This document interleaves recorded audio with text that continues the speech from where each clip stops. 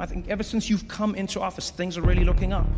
You know, gas is up, rent is up, food is up, everything. Gas prices reaching a record high.